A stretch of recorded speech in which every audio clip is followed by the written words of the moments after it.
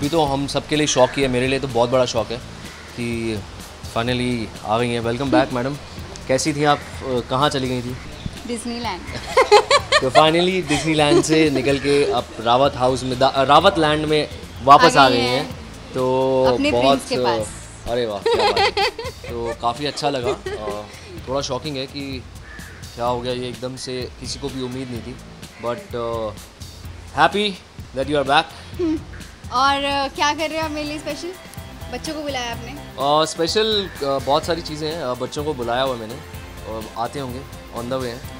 शाम को एक इसको और थोड़ा खुश कर दूँ। इसने हमें खुश किया तो अब मेरी भी थोड़ी सी वो बनती है।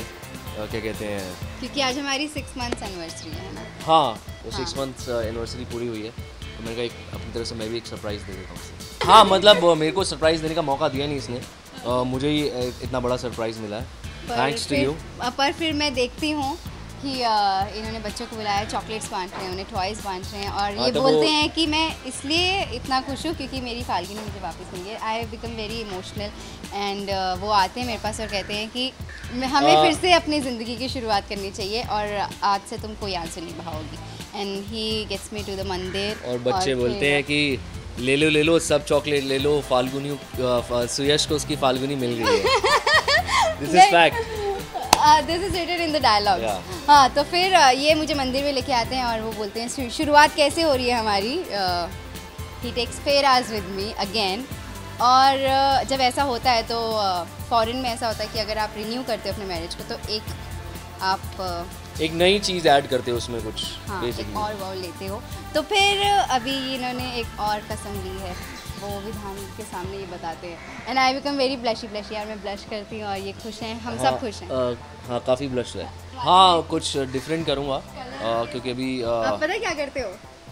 आप बोलते सिंदूर किधर? तो बच्चे आपने कलर्स भी बांटे हैं बच्चों को तो बच्चों तो से बच्चे कलर लेके लगा देते हाउ थॉटफुल ना? इंटेलिजेंट अचानक से इन्होंने डेट प्लान की होती है मैंने डेट प्लान। की है। इसके लिए और ये मुझे एक बंदूक से मारने की कोशिश कर रही हैं जहाँ अटेम्प्ट टू मर्डर ये कर चुकी हैं।